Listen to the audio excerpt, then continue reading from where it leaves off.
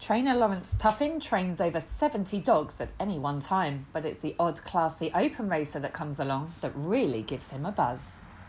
Well, my passion has always been the open scene. When I came into dog racing in a big way, uh, was always to um, run in open racing, and um, I've been lucky enough to do it over the the years. Um, you know, the graded stuff really pays the wages, so to speak, and um, but no, I love travelling. I love seeing the other trainers and that away from from Nottingham. You know, it's a lot better, nicer atmosphere. We need another Tynwald Baz, and unfortunately at the moment we haven't got one. Come around too often. What, what are your beliefs in training greyhounds? How do you like things done here? My biggest thing has always been galloping. You know, you can have all your wonderful machines and that to treat dogs, which obviously are important, but if you can't gallop your dogs and get them fit to race, um, you know, um, I, I just don't think you can be without it. And the other thing that we do do here, um, we have all the dogs checked over on a regular basis, um, either Tom Peppercorn or George Drake. Tom will come here every three weeks and we'll probably have uh, 20, 25 dogs checked over at a time. Because um, I think if you keep it on top of the small things, they don't become big things. And that's why we touch wood. We don't, we don't lose many dogs at all. You've had some great dogs go through your hands over the years, some of which were way before my time. yeah, I mean, um, two Nicks, he won the Futurity Cup at Nottingham. He held the fastest time for two years on the trot, 29.56 and 29.58 back then. That's back in, you know, early two, 2007, 2008 time. Um, he got to uh, two Category 1 finals. He, he, he got beat shorthead in the Eclipse uh, by Rev Counter. I've never forgiven Chris Allsop for that. And um, he also got to the uh, Tote Gold Collar final. Uh, I had Commander Chief from Mark Wallace uh, after two nicks. He was a fantastic dog. He finished second in the Tote Gold Collar and he finished second in the Sussex Cup for me. um, yeah, I mean, I had a dog, Charmer, which uh, we got for Harry Finley. He started off in an A5 grade at Nottingham. Uh, and I, I'm sure that night he broke his wrist at Nottingham. I, I'm sure he would have broke the track record then. He was a absolutely super dog. Um, we did breed out the sister of that, funny enough, and my brother Tony did have a, a Category 1 winner, Tufty's Pearletta out of her, so, you know, the breeding was there. Uh, a million maid, she was a fantastic bitch for us. She got to two or three finals. She got through two rounds of the Derby that year, and uh, yeah, look, we've had some wonderful dogs. Wise Diamond, he won the Paddy Power Derby Trial Stake at Walthamstow. That was my biggest biggest claim to fame then back in 2007 that was absolutely unbelievable and we went over to Ireland and you know unfortunately we got knocked out in the first round but uh, no, I've had some fantastic dogs. Of course, more recently, Tynwald Baz, who we all know and love. He was a star for you and a great relationship that you had with his owner, uh, Terry Corden, before he sadly passed yeah, away. And he actually gave you a bit of confidence in terms of your training ability, Terry, didn't yeah, he? Yeah, I mean, you know, um, it's easy to knock trainers for what you could, what you do and what you can't do, and, and, and I'm sure Terry had his own opinions of me beforehand, but I can understand why he wanted to move his dogs at the time because obviously he wasn't very well. Um, and he came to me and said, look, you know, um, I'm not going to be able to travel backwards and forwards to Ireland, so I'm going to move all the dogs to us, which was a great pleasure and an honour anyway, because I know Terry Monslow used to train quite a few of Terry's dogs.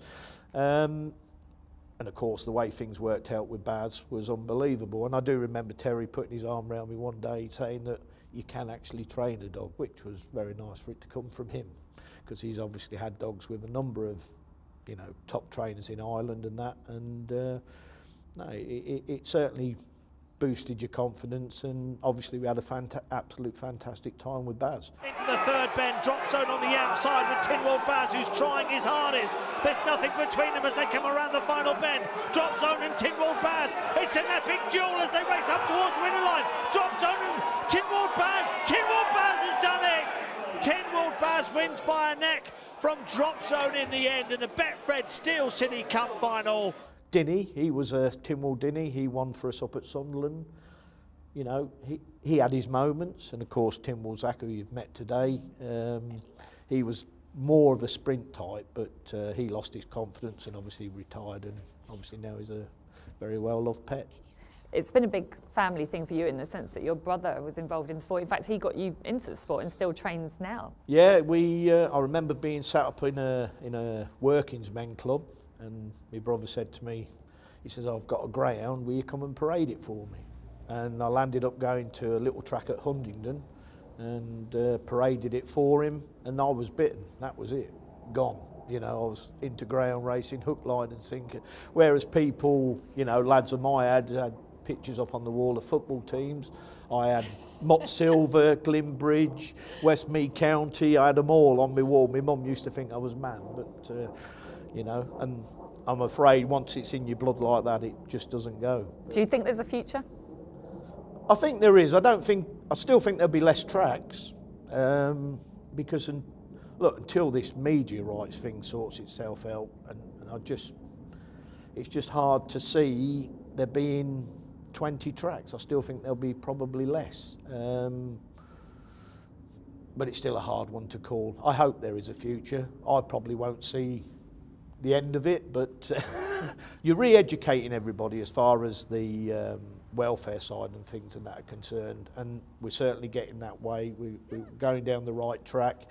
You know, a lot of the older trainers do want educating the way things should be done um, and they've got to be seen to be doing the right thing. I'm sure the GBGB, you know, with their stewards and that will be, you know, monitoring that situation and, you know, let's help everybody and hopefully, you know, the future will be bright. One person I don't think needs educating on the welfare front is you. You absolutely love these dogs, don't you? Yeah, I do. Yeah, I mean, as you've seen today, um, you know, hopefully the feeling's mutual. They don't want to turf me well, off to a is, retired Especially some of those little girls, they love but, you. Um, yeah, that, look, it's always been a big thing for us. We, we, we you know, we, we've always tried to do the best for the dogs. I mean, I, I, the Colston owners, for instance, they've got 40 at home. Wow. 40. You know, they take all their dogs when they've retired, they go home. I mean, do you remember Shambo Beauty that was on TV with broke both her front legs that time. You know, she's there, happy as it.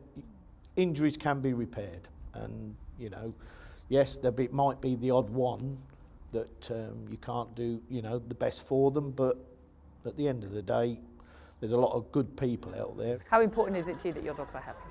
Yeah, look, dogs, you know, dogs have got to be happy to run, haven't they? I mean, they're not going to run if they're, you know, you get one or two of them that are a little bit subdued in themselves, but that's not because they're badly treated, right? That's just their character.